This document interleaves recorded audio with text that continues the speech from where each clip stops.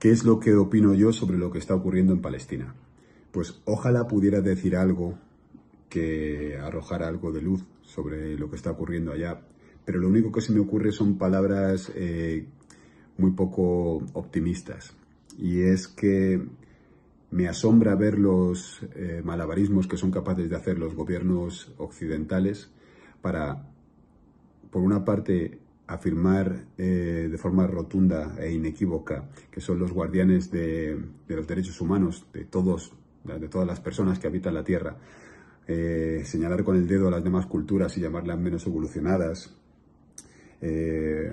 y al mismo tiempo no solamente no ser capaz de parar lo que está ocurriendo en Palestina, sino que por la parte de atrás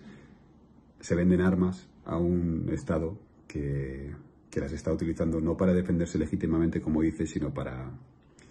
masacrar a población civil eh, delante de todos. Eh, no tengo nada bonito que decir sobre lo que está ocurriendo, solo mostrar mi, mi compromiso con la causa del pueblo palestino, porque creo que es el compromiso que se tiene que tener siempre con el, con el débil que, que es masacrado.